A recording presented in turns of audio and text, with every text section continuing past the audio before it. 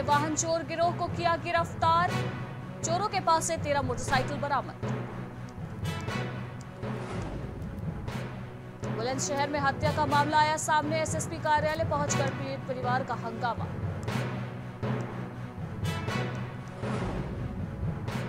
गोरखपुर में तांत्रिक का मानवीय चेहरा आया सामने। झाड़ फूक के नाम पर बच्चे को अगरबत्ती से जलाया। सपा नेता का प्रदर्शन, चौधरी चरण सिंह प्रतिमा के नीचे राज्यपाल कश्यप राजेंद्र चौधरी कर रहे हैं प्रदर्शन।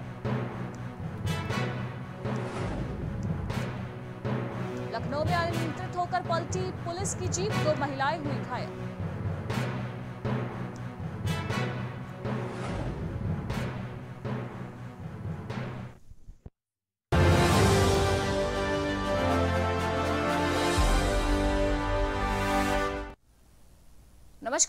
प्रदेश की खबरों में आपका स्वागत है। मैं हूँ आपके साथ अनुष्का सिंह।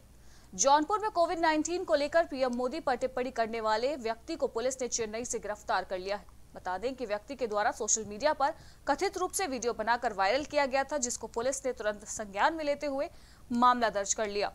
एसपी अजय कुमार साहनी ने बताया कि सोशल मीडिया पर हो रहे वायरल वीडियो को पुलिस ने संज्ञान में लेते हुए मामला दर्ज कर लिया और व्यक्ति की तलाश में जुट गए थे, जिसके बाद आरोपी को गिरफ़्तार कर लिया गया है। एक सोशल मीडिया में एक मामला संज्ञान में आया था, जिसमें एक व्यक्ति है, उसने सोशल मीडिया में के माध्यम से कुछ अनर्गल बयानबाजी की थी कोविड को लेके, कोविड महामारी को लेके। उससे जनता में कोविड के प्रति एक भय फैलने की संभावना थी, जिसको संज्ञान में लेते हुए कोतवाली इंस्पेक्टर द्वारा एक मुकदमा संबंधित अभियोग में पंजीकृत कराया गया था। और जो व्यक्ति जिसने टिप्पणी की थी, उसके बारे में पता किया गया तो जौनपुर का रहने वाला था और चेन्नई में उसकी लोकेशन थी। पुलिस टीम चेन्नई गई और वहाँ माननीय न्यायालय से उसने अनुमति ली। अनुमति लेने के पश्चात उसके हालाँकि न्यायालय के समक्ष प्रस्तुत किया जा रहा है और इसमें जो भी अग्रिम विधिक कार्रवाई है। वहीं बुलंदशहर से हत्या का मामला सामने आया, जहाँ पीड़ित परिवार ने दनकौर थाना क्षेत्र में एसएसपी कार्यालय पहुंचकर एसएसपी से न्याय की गुहार लगाई। बता दें कि पीड़ित परिवार का कहना है कि कुछ महीनों पहले आरोपी उनकी बेटी को बहला फुसला कर ले गया था, जिसके बाद पीड़ित परिवार ने पुलिस की मदद से लड़की को बरामद कर लिया। और पुलिस ने आरोपी को भी गिरफ़्तार कर लिया। वहीं कुछ दिनों बाद फिर आरोपी लड़की को लेकर फरार हो गया और शादी कर ली, जिसके बाद हत्या का मामला सामने आया। वहीं इस बात की शिकायत पीड़ित परिवार ने खुर्जा जंक्शन की चौकी पर की, लेकिन पुलिस ने रिपोर्ट दर्ज नहीं की, जिसके बाद पीड़ित परिवार ने एसएसपी कार्यालय पहुंचकर मामले में रिपोर्ट दर्ज किए जाने और आरोपी के खिलाफ कार्रवाई किए जाने की मांग की है। हुआ आइए कि जो लड़का लेके गया मिर्जापुर का हमारी लड़की को जगन प्रधान के घर से तो हम उस लड़की को दूसरे दिन ले आए। हमने उस लड़की को बेला फुसका कर उसकी शादी की तैयारी कर दी। और शादी की तैयारी के एक महीना बाद वो लड़, मतलब तैयारी चल रही घर में और वो लड़का दोबारा क्यों लेके आया उस लड़की? है जब उसको रखनी नहीं थी हमारी लड़की। तो वो दोबारा क्यों लेके आया हमारी लड़की है फिर क्या हुआ? और फिर उसने कोर्ट वोट मैरिज करी लड़की के साथ और फिर दूसरे लड़का के साथ वो सुल्तानपुर लड़का के वहाँ बेच दी वो लड़की तो फिर? तो फिर वो वो अन्याय अन्याय नहीं हुआ लड़की के साथ उसके बाद क्या हुआ उसके बाद ये हुआ की लड़की वो काट दी अप्रैल से कटी या काट दी इसकी हम पता नहीं है इसकी जान- वहीं बुलंदशहर में पुलिस को बड़ी सफलता हासिल हुई है, जहाँ पुलिस ने वाहन चोर गिरोह का पर्दाफाश किया है। पुलिस ने वाहन चोरों से तेरह मोटरसाइकिल भी बरामद की है। गिरफ़्तार छात्र चोर अंतर जनपदीय वाहन चोर बताए जा रहे हैं। वहीं अभियुक्तों द्वारा पूछताछ में बताया गया है कि वो अपने अन्य साथी के साथ मिलकर कई क्षेत्रों से मोटरसाइकिल चोरी की घटनाओं को अंजाम देते थे और चोरी के वाहनों को बेचकर आर्थिक लाभ प्राप्त किया करते थे। फ़िलहाल पुलिस ने अभियुक्तों को गिरफ़्तार कर जेल भेज दिया है। वहीं बाकी फरार अभियुक्तों की गिरफ्तारी का प्रयास भी लगातार जारी है। देखिए, थाना जहांगीराबाद पुलिस के द्वारा जो अभियुक्त गिरफ़्तार किए गए हैं, ये मुख्य रूप से एक लोकल मिस्त्री है जिसकी दुकान पे खड़ा करते थे और मिस्त्री फिर ग्राहकों तलाश करता था और ग्राहकों को बुलाने के बाद रेट आपस में तय करते थे।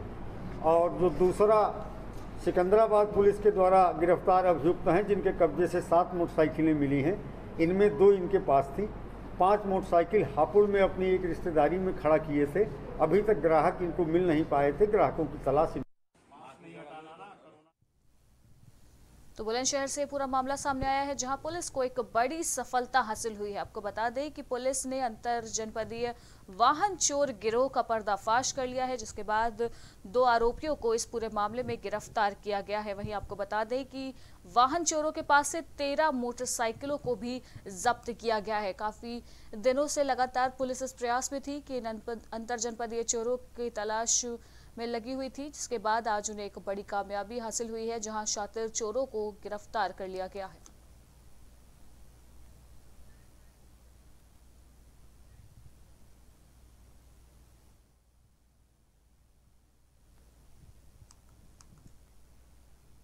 वहीं फतेहपुर के धादा थाना क्षेत्र में पुलिस और शातिर गौकशी करने वाले बदमाशों के बीच मुठभेड़ हो गई। वहीं मुठभेड़ के दौरान एक बदमाश के पैर में गोली लग गई, जिसके बाद घायल को जिला अस्पताल में भर्ती कराया गया।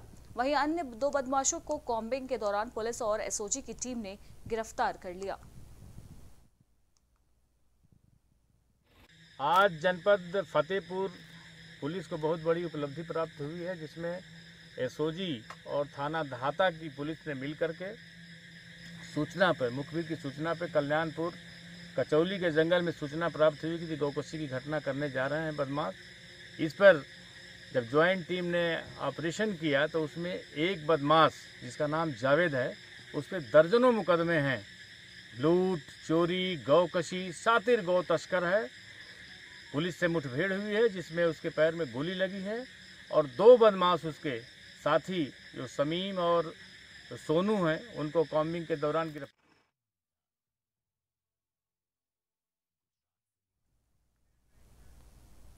वहीं गोरखपुर ज़िले में एक हैरान करने वाला मामला सामने आया, जहाँ गुल, गुलरिया थाना क्षेत्र के सरहरी अंतर्गत झाड़ फूड़ करने वाले कथित तांत्रिक का एक अमानवीय चेहरा देखने को मिला है। बता दें कि एक युवक द्वारा अपने बीमार बेटे को झाड़ फूक के लिए एक तांत्रिक के पास लाया गया, जहाँ तांत्रिक ने झाड़ फूक के नाम पर छह साल के मासूम का पूरा चेहरा अगरबत्ती से जला दिया। इससे बच्चे की हालत काफ़ी ज़्यादा खराब हो गई। वहीं इसकी सूचना बच्चे ने पिता ने सरहरी चौकी में दी। आपको बता दें कि जानकारी होने के बाद मौके पर पहुँची पुलिस ने तांत्रिक के खिलाफ मुकदमा दर्ज कर जाँच शुरू कर दी है।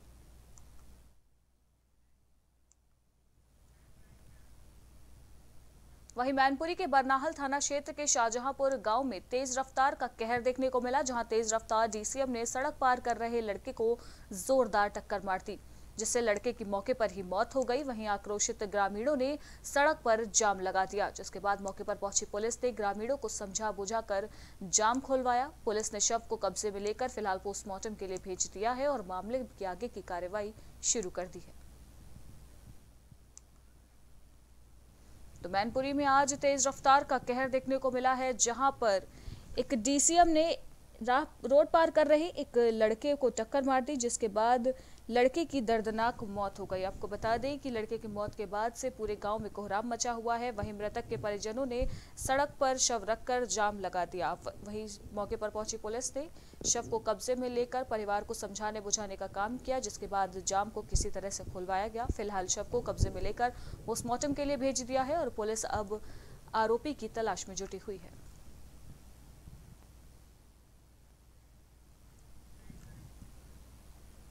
मैनपुरी में शहर का नाम बदलने का जिला पंचायत में प्रस्ताव रखा गया। मैनपुरी का नाम मयन नगर रखने का प्रस्ताव रखा गया है। बता दें कि यूपी में फिर से नाम बदलने की कवायद शुरू हो गई है। फिरोजाबाद के बाद मैनपुरी ज़िले पंचायत की बैठक में मैनपुरी का नाम बदलने का ये प्रस्ताव रखा गया है। वहीं इसको लेकर जिला पंचायत अध्यक्ष अर्चना भदौरिया ने प्रस्ताव मंजूर कर लिया है।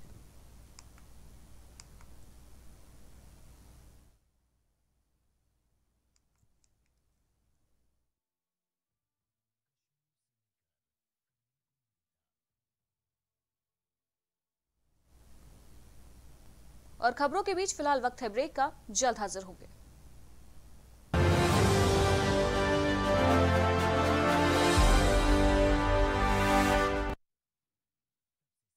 राजनीति की हर चर्चा, हर चर्चित मुद्दे पर तर्कपूर्ण डिबेट देखिए मेरे साथ प्राइम टीवी पर शाम चार से पाँच। इसी के साथ अब आप अपने पसंदीदा न्यूज़ चैनल, प्राइम टीवी को एमएक्स प्लेयर जियो टीवी के साथ साथ पेटीएम पर भी देख सकते हैं। से लेकर कन्याकुमारी तक। गुजरात से लेकर अरुणाचल तक। सत्ता के गलियारों से खेल के मैदानों तक। नहीं छूटती कोई खबर। सबसे सटीक, सबसे दमदार, सिर्फ़ प्राइम टीवी पर। खबरों के लिए देखते रहिए प्राइम टीवी और कोरोना से बचाव के लिए मास्क है ज़रूरी।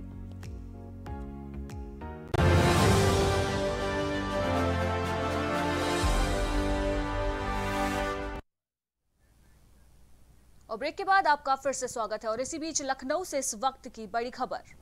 लखनऊ से इस वक्त बड़ी खबर जहाँ अनियंत्रित होकर पलटी पुलिस की जीप इस पूरे मामले में दो महिलाएँ घायल हो गई हैं। पब्लिक ने नशे में गाड़ी चलाने का आरोप लगाया है, जिसके बाद फिर से एक बार लखनऊ पुलिस सवालों के घेरे में आ चुकी है। पारा थाना क्षेत्र के भपटा मऊ क्षेत्र की पूरी घटना इस वक्त हम आपको बता रहे हैं, जहाँ पर अनियंत्रित होकर पुलिस की जीप पलट गई है। वहीं इस हादसे में दो महिलाएँ गंभीर रूप से घायल हो गई हैं। वहीं पब्लिक ने पुलिस पर नशे में गाड़ी चलाने का आरोप लगाया है, जिसके बाद से एक बार फिर से लखनऊ पुलिस पर सवाल खड़े होने लगे हैं। किस प्रकार से पुलिस की लापरवाही साफ़ तौर पर देखी गई है, जहाँ पर पुलिस की घोर लापरवाही के चलते दो महिलाएँ घायल हुई हैं। आपको बता दें कि अनियंत्रित होकर पुलिस की जीप पलट गई है, जिसमें दो महिलाएँ घायल हो गई हैं।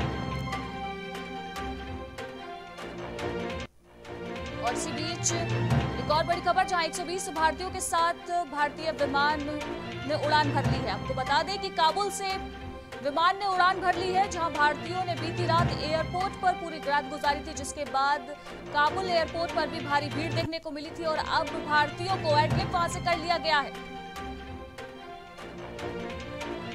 आईएएफ सी सेवनटीन विमान काबुल से इस वक्त उड़ान भर चुका है। आपको बता दें कि भारतीयों को सुरक्षित लाने की तैयारियाँ तेज हो गई है और अब भारतीयों को सुरक्षित बचा लिया गया है।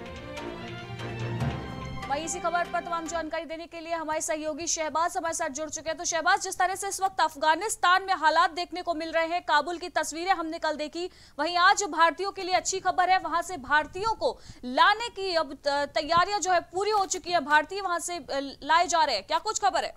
बिल्कुल बताना चाहूँगा कि जिस तरीके से अनुष्का अफरा तफरी का जो माहौल कल काबुल एयरपोर्ट पर देखने को मिला उसके बाद हर देश के जो दूतावास जहाँ फंसे हुए हैं वो अपने अपने तरीके से अपने अधिकारियों को वहाँ लाने का अपने देश लाने का प्रयास कर रहे हैं। इसी, इसी क्रम में भारतीय अधिकारियों को भी आज जो है वहाँ से सी वन सेवन फ़्लाइट जो है वो लेकर उड़ चुकी है काबुल से और करीब ग्यारह बजे पहुँचने का अनुमान लगाया जा रहा है कि गाजियाबाद में के हिंडन एयरबेस पे करीब ग्यारह बजे जो फ़्लाइट है वो पहुँच जाएगी, इसमें 120 से ज़्यादा भारतीय जो हैं, वो सवार हैं।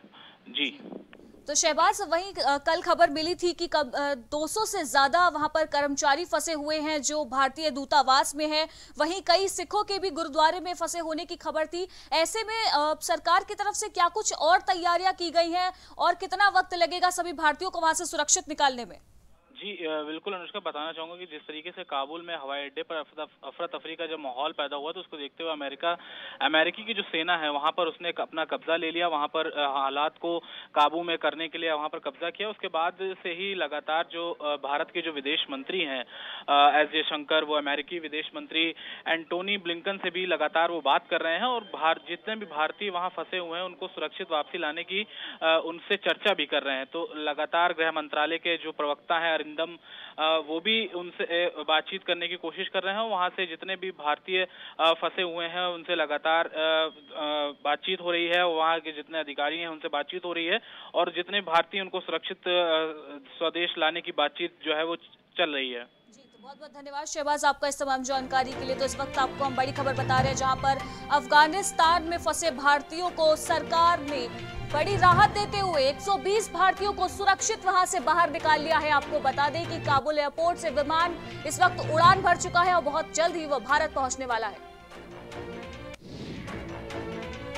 और इसी बीच आपको एक और बड़ी खबर बता दें, जहाँ यूपी में दो आईपीएस के तबादले किए गए हैं, जहाँ वाराणसी में एसीपी अभिमन्यु को भी वहाँ से तबादला किया गया है। वहीं राज्यपाल के परिसहायक अभिषेक वर्मा का भी तबादला किया गया है। तो बड़ी खबर जहाँ दो आईपीएस के तबादले उत्तर प्रदेश में किए गए हैं, जहाँ वाराणसी में एसीपी अभिमन्यु मांगलिक राज्यपाल के परिसहायक बनाए गए हैं।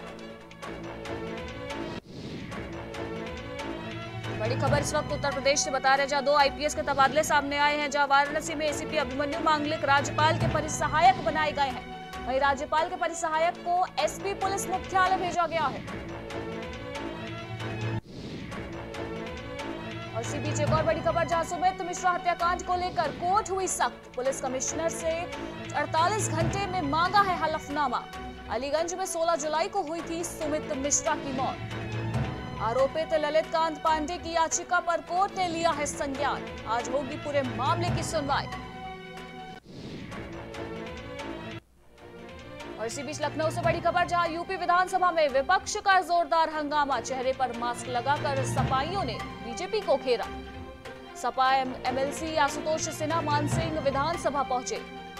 वहीं सरकार को घेरने की तैयारी में इस वक्त विपक्ष दिखाई दे रहा है। तो आज यूपी विधानसभा में विपक्ष का जोरदार हंगामा देखने को मिला है। तस्वीरें दिखा रहे हैं हम आपको, जहाँ चेहरे पर मास्क लगाकर सपाई प्रदर्शन करते नज़र आ रहे हैं, जहाँ सपा एमएलसी आशुतोष सिन्हा और मान सिंह विधानसभा पहुँचे हुए हैं, जहाँ पर वो सरकार को घेरने की तैयारी में इस वक्त जुटे हुए हैं। वहीं इसी खबर पर तमाम जानकारी देने के लिए हमारे सहयोगी शहबाज हमारे साथ जुड़ चुके हैं। तो शहबाज, आज जहाँ विधानसभा में विपक्ष का जोरदार हंगामा देखने को मिल रहा है, क्या कुछ जानकारी है?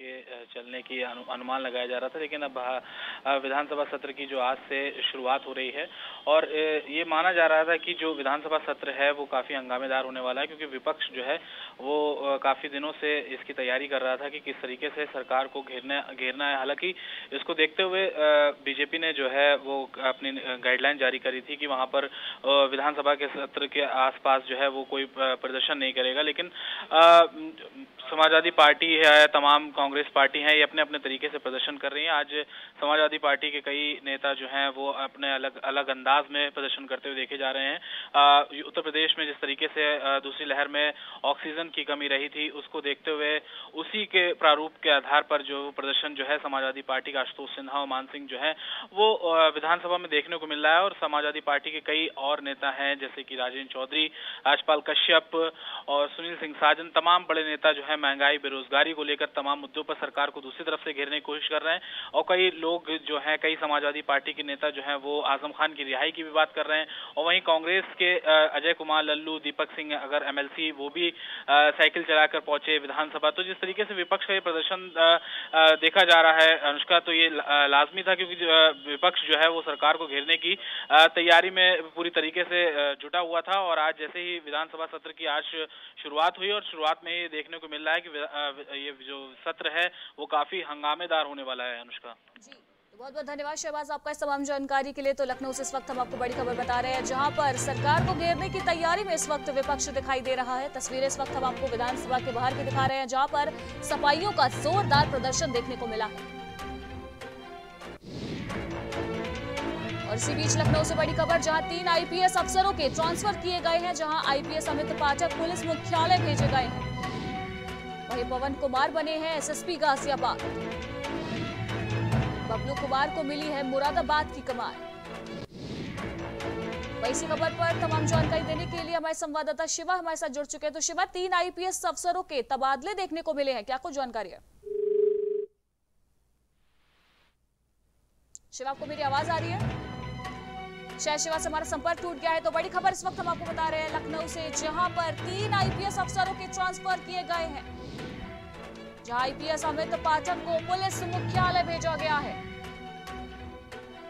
वहीं इसी खबर पर तमाम जानकारी देने के लिए हमारे संवाददाता शिवा शर्मा हमारे साथ जुड़े हुए हैं। तो शिवा, जिस तरीके से आज तीन आईपीएस अफसरों के तबादले देखने को मिले हैं, क्या कुछ जानकारी है? देखिए अनुशिका कल डीजीपी मुख्यालय की तरफ़ से लिस्ट जारी की गई है, जिसमें तीन वरिष्ठ आईपीएस अफसरों के तबादले किए गए। अमित पाठक, जो लंबे समय से एसएसपी गाजियाबाद बने हुए थे, उन्हें पुलिस मुख्यालय संबद्ध किया गया और पवन कुमार, जो एसएसपी मुरादाबाद थे, उनको गाजियाबाद की आज कमान सौंपी गई और बबलू कुमार, जो कुछ ही समय से एटीएस के अंदर एसएसपी के पद पर तैनात थे, उनको मुरादाबाद का एसएसपी बनाया गया है। ये तीनों ही आईपीएस अफसर ये कहा जाता है कि अपने कार्यकाल के दौरान ज़िले में जो कानून व्यवस्था है, उसको बेहतर करने के लिए तमाम नए एक एजेंडे तैयार करते हैं और एक मुहिम चलाते हैं। और उसी को देखते हुए शायद बबलू कुमार और पवन कुमार को एसएसपी गाजियाबाद और एसएसपी मुरादाबाद की ज़िम्मेदारी दी गई है, ताकि वहाँ की कानून व्यवस्था को बेहतर किया जाए और वहाँ की जो पुलिसिंग व्यवस्था है, उसको सुधार करने की कोशिश की जाए। तो देर रात ही गृह विभाग की तरफ़ से, डीजीपी मुख्यालय की तरफ़ से लिस्ट जारी की गई है, जिसमें तीन आईपीएस अफसरों के तबादले किए गए बहुत धन्यवाद। शिव, आपका इस तमाम जानकारी के लिए तो बड़ी खबर इस वक्त जहाँ तीन आईपीएस अफसरों के ट्रांसफ़र किए गए हैं। उत्तर प्रदेश में जहाँ पर आईपीएस अमित पाठक को पुलिस मुख्यालय भेजा गया है। इसी बीच एक और बड़ी खबर, जहाँ यूपी विधानसभा सत्र की आज से हो रही है शुरुआत। विधानसभा के एक किलोमीटर में लगाई गई है पाबंदी। ट्रैक्टर ट्रैक्टर ट्रॉली, बग्गी, बैलगाड़ी पर रोक लगा दी गई है। वहीं धरना प्रदर्शन को भी परिधिक में बैन किया गया है। वहीं नियम तोड़ने वालों पर कार्रवाई की बात भी कही गई है। बड़ी खबर आपको बता रहे हैं जहाँ यूपी विधानसभा के सत्र की आज से शुरुआत होने जा रही है, जिसके बाद विधानसभा के एक किलोमीटर के दायरे में पाबंदियाँ लगाई गई हैं, जहाँ पर ट्रैक्टर ट्रैक्टर ट्रॉली, बग्गी, बैलगाड़ी पर पूर्णता रोक लगाई गई है। वहीं धरना प्रदर्शन को भी परिधि में बैन किया गया है। वहीं नियम तोड़ने वालों पर सख्त कार्रवाई की भी बात की गई है। इसी बीच बड़ी खबर, जहाँ यूपी विधानसभा सत्र की आज से शुरुआत हो रही है, जहाँ विभिन्न मुद्दों पर सरकार को विपक्ष घेरने का काम करने वाली है। हंगामेदार सत्र के लगाए जा रहे हैं आसार। आज से 24 अगस्त तक चलेगा मॉनसून सत्र। दिवंगत सदस्यों को श्रद्धांजलि देकर सदन स्थगित की जाएगी। बड़ी खबर इस वक्त हम आपको बता रहे हैं, जहाँ आज से यूपी विधानसभा सत्र की शुरुआत होने जा रही है, जिसके बाद विभिन्न मुद्दों को लेकर विपक्ष इस वक्त सरकार को घेरने के मूड में दिखाई दे रही है। वहीं हंगामेदार सत्र के इस वक्त आसार लगाए जा रहे हैं। आज से 24 अगस्त तक इस मानसून सत्र को चलना है, लेकिन ऐसे में एक बड़ा सवाल है कि क्या ये सत्र सफलतापूर्वक समाप्त हो पाएगा?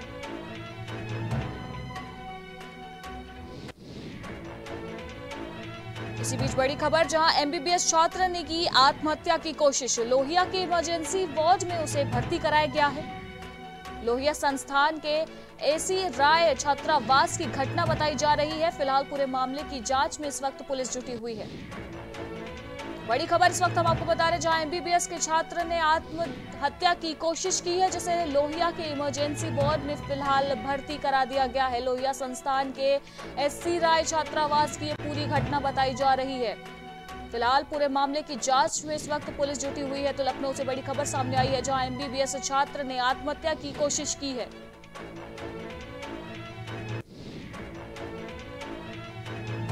आपको बड़ी खबर बता रहे जहाँ होमगार्ड विभाग में भी तबादले किए गए हैं, जहाँ पाँच जिला कमांडेंट होमगार्ड्स के तबादले किए गए हैं। श्यामजीत शाही जिला कमांडेंट अलीगढ़ बनाए गए हैं। वहीं नीरज कुमार शर्मा जिला कमांडेंट कुशीनगर बनाए गए हैं। हरिशंकर चौधरी को जिला कमांडेंट हमीरपुर बनाया गया है। बड़ी खबर सामने आई है, जहाँ होमगार्ड विभाग में भी तबादले देखने को मिले हैं, जहाँ पाँच जिला कमांडेंट होमगार्ड्स के दूसरे जिलों में तबादले किए गए हैं। आपको बता दें कि श्यामजीत शाही जिला कमांडेंट अलीगढ़ बने हैं। वहीं नीरज कुमार शर्मा को कुशीनगर की कमान सौंपी गई है। वहीं हरि हरिशंकर चौधरी जिला कमांडेंट हमीरपुर अब बनाए गए हैं। और इसी बीच लखनऊ से बड़ी खबर, जहाँ विधानसभा में सपाइयों का जोरदार प्रदर्शन, राज्यपाल कश्यप और राजेंद्र चौधरी प्रदर्शन में शामिल। चौधरी चरण सिंह की प्रतिमा के नीचे इकट्ठा हुए हैं सपाई। आज़म खां की रिहाई को लेकर इस वक्त आवाज़ उठाई जा रही है। जेल के ताले टूटेंगे, आज़म खान छूटेंगे, के भी नारे इस वक्त लगाए जा रहे हैं। तो विधानसभा के बाहर इस वक्त सफाइयों का जोरदार प्रदर्शन देखने को मिल रहा है। तस्वीरें इस वक्त हम आपको सीधे विधानसभा के बाहर की दिखा रहे हैं, जहाँ पर सफाइयों का जोरदार प्रदर्शन देखने को मिल रहा है। चौधरी चरण सिंह की प्रतिमा के नीचे इस वक्त सफ़ाई इकट्ठे हुए हैं, जहाँ पर आज़म खान की रिहाई को लेकर आवाज़ उठाई जा रही है। इस वक्त हाथों में तख्तियाँ लेकर सरकार के विरुद्ध नारे इस वक्त सफ़ाई लगा रहे हैं। और इसी बीच लखनऊ से बड़ी खबर, जहाँ पुलिस को चोरों ने फिर चुनौती दी है, जहाँ चिन्हट के एक घर से लाखों का माल चोरों ने साफ़ कर दिया है। महाकाल के दर्शन के लिए गए थे परिवार के सदस्य, जिसके बाद चोरों ने पूरी घटना को अंजाम दिया है।